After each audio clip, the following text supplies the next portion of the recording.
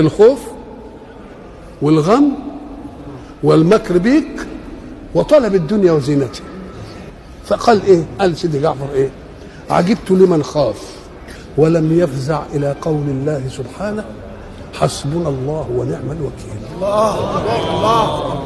يبقى كل ما تكون خايف من حاجة لا تحصل قل إيه؟ قل أنا مش أنا مش شارد في الكل وحدي ده أنا لي رب.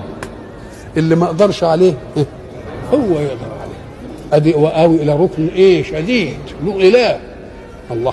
ده أنت لما تكون ماشي ومعاك جنيه ويقع منك إن كان ما عندكش غيره تزعل.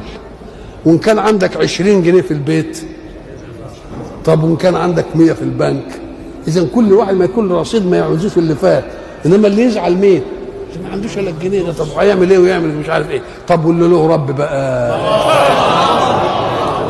عجبت لمن خاف ولم يفزع بعد خوفه إلى قول الله سبحانه حسبنا الله ونعم الوكيل. فإني سمعت الله بعقبها يقول فانقلبوا بنعمة من الله وفضل لم يمسسهم سوء. وعجبت لمن اغتم.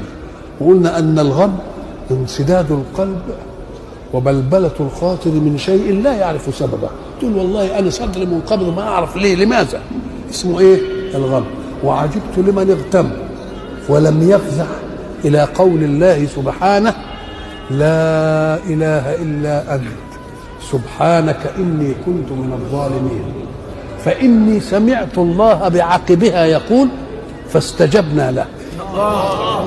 ونجيناه من الغم ومش بس له وكذلك ننجي المؤمنين. يعني رجدت عامة مش له بس. وكذلك ننجي المؤمنين. وقوله ساعة الغم لا إله إلا أنت يعني لا مفزع لي سواك أروح لمين بقى؟ أنت اللي إني كنت من الظالمين ليه؟ يعني رب يمكن الغم ده داخل عليا لأن يعني أنا عملت حاجة وظلمت نفسي ولا كده ولا كده فيجي دي سبب وأنا مش عارف. وعجبت لمن مكر به. اعدائك بيمكروا بيك وأنت ما أنتش قد الناس. يقعدوا يرفقوا لك ويعملوا لك مكر. قال له وعجبت لمن مكر بك كيف لا يفزع إلى قول الله سبحانه وأفوض أمري إلى الله. ليه؟ لأن ربنا قال ومكروا ومكر الله. يبقى هو اللي هيقابل بقى كويس كده؟ لأني سمعت الله بعاقبها يقول فوقاه الله سيئات ما مكر. وعجبت بقى للطموحات بقى بتاعت الدنيا عايز يبقى عنده وعايز يبقى عنده. ما, ما فيش مانع يبقى عندك يا سيدي. بس يقول إيه؟ ما شاء الله.